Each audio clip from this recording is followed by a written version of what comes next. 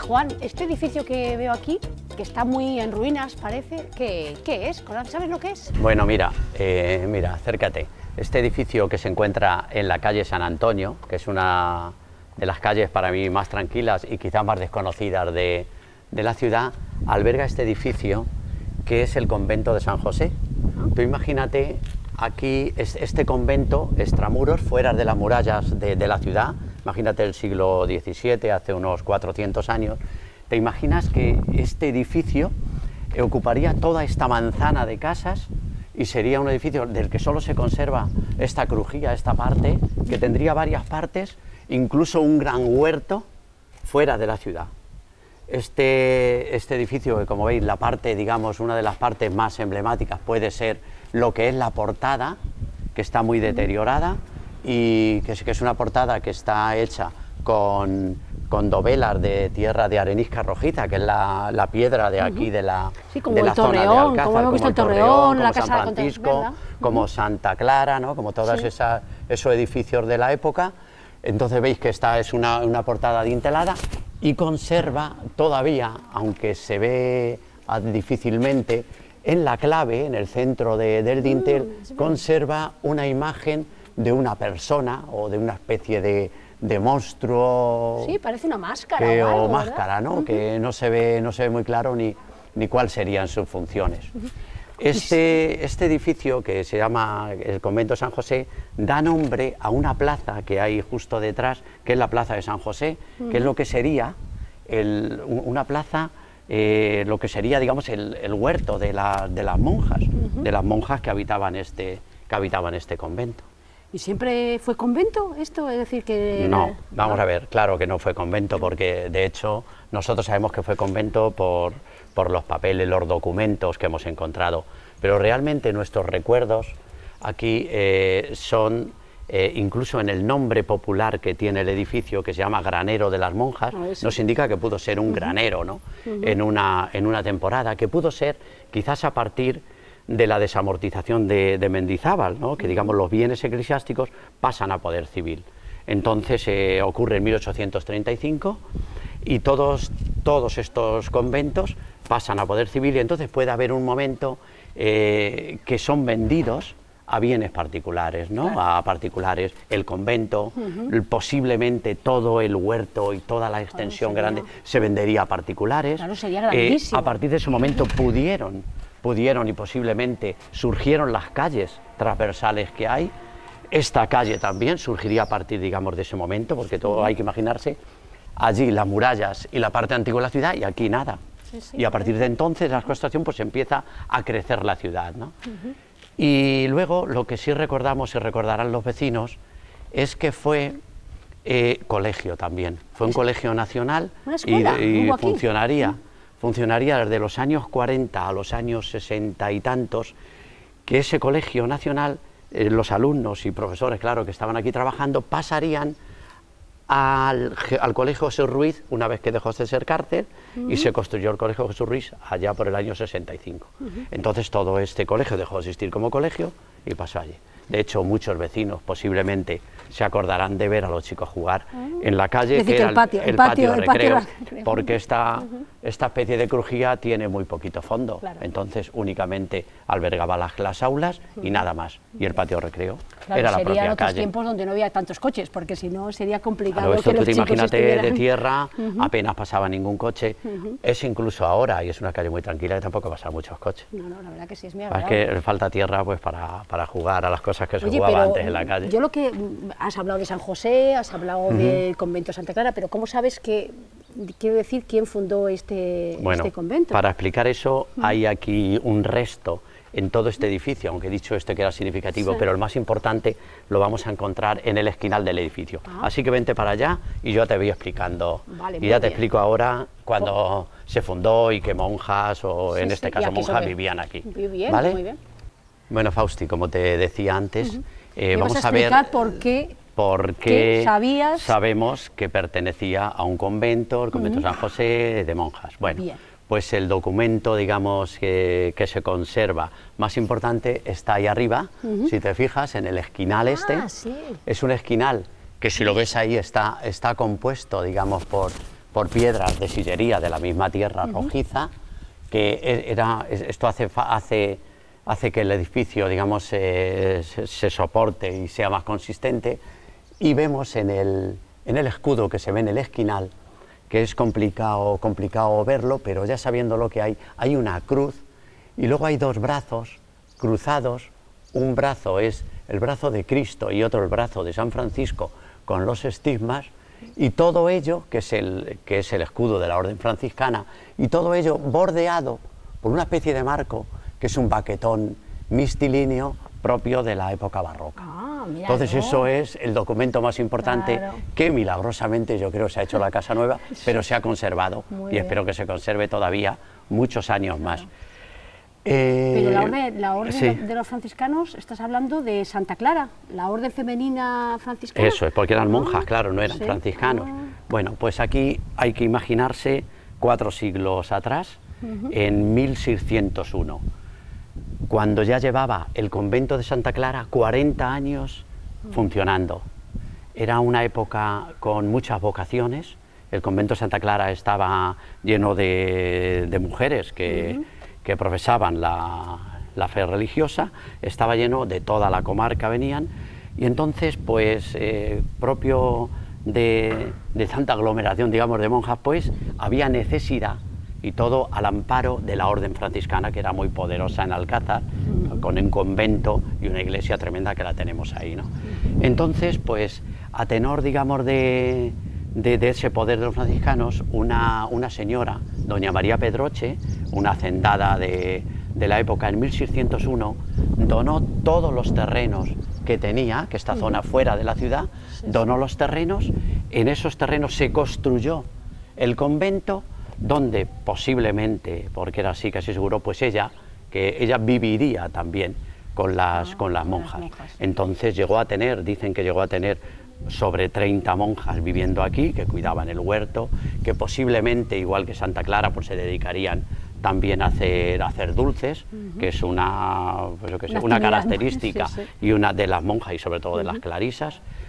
Y eh, luego este, este, convento eh, tuvo una iglesia que, en honor de, San José, que se fundó cuatro años después, 1601. Se mm. funda el convento y a los, y a los cuatro años la, iglesia, se, consagra la iglesia en honor de, en honor de San José. Ah, Entonces... Eh, entonces, por eso esa mezcla de convento, de San José, de la iglesia, ¿no?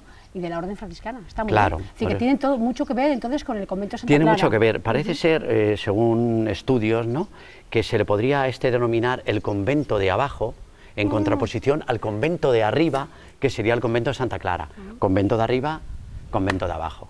Entonces, pues se supone ya convento, estamos hablando de 1601, principio del siglo XVII, siglo XVIII, hasta mediados del siglo XIX, cuando se produce la, desamortización de Mendizábal, porque esto, que esto fue convento, y de hecho, pues todos los alrededores, incluso ahora tuvo que tener relación con el convento también el callejón del toro que vamos a ver ahora mismo. Y ya dejamos este convento y esta, este edificio tan significativo que se me había olvidado comentarte antes, eh, a partir de principios de este siglo, sobre el 2001, pasó a ser propiedad municipal del ayuntamiento.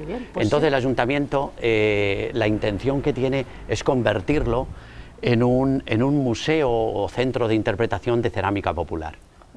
Y bueno, pues donde trabajo, albergará. Trabajo tienen, ¿eh? Eso, mucho trabajo. Por lo pronto han, han, restaurado la cubierta, que no es poco porque no se caería, y bueno, ahí está.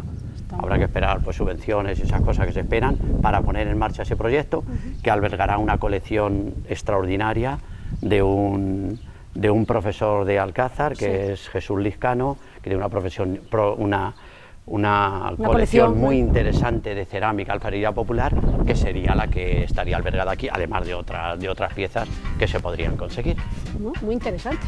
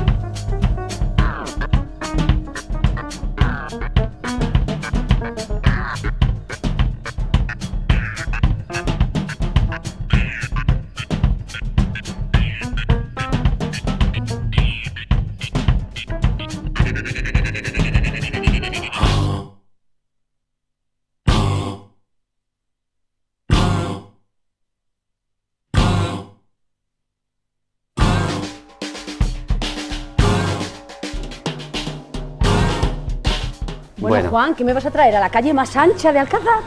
Bueno, esta es una calle que es una calle especial, ¿no? Sobre todo tenemos muchos recuerdos aquí de la infancia. Era un sitio obligado en nuestra, los que vivíamos en otras zonas, en otros barrios, pues venir aquí a la calle, ¿no? Y decir, bueno, a ver, ¿no? La única calle que, con los brazos abiertos tocas, ¿no? Pues llegar, llegar hasta aquí era, era importante, no solamente la gente del barrio Santa María, sino los demás. El Callejón del Toro, eh, a mí me gusta pensar siempre por qué se llama, ¿no? pues que la gente imagine, imagine cosas. ¿Por qué pues, se podría llamar el Callejón del Toro? A lo mejor no cabe ni un toro, o sería, como dice a lo mejor en los en el, en el azulejo, ¿no? que podría tener algo relación por donde salían los toros para unas posibles corridas de toros en, en la plaza. Eh, también pues comunicaría todo lo que sería el, el convento de San José y el huerto del convento de San José con la, con la zona urbana, con la plaza. Podría ser cuando empezaron a hacer casas, pues dejaran este, este pasillo, ¿no? Pero vamos, yo creo que la mayor importancia tiene esta, la calle más estrecha de, de Alcázar de San Juan y sigue siendo una calle emblemática y yo creo que, que todos los chicos y las chicas lo han encontrado. para pasar por aquí, comunica en la calle San Antonio y el convento San José nos comunica con el Colegio Jesús Ruiz, la calle Diana y el Colegio Jesús que como sabes fue la antigua cárcel de la antigua cárcel de Alcázar. Entonces un sitio que está aquí en el corazón de la ciudad. Y donde estuvo Miguel Hernández, ¿no? Y estuvo Miguel Hernández en la cárcel, en la cárcel de, o sea que tiene mucha historia también el callejón del Toro. Evidentemente.